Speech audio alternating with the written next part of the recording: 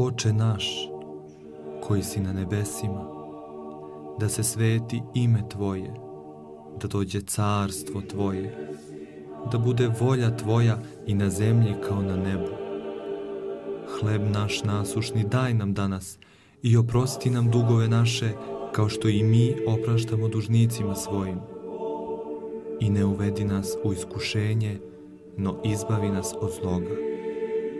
Amin.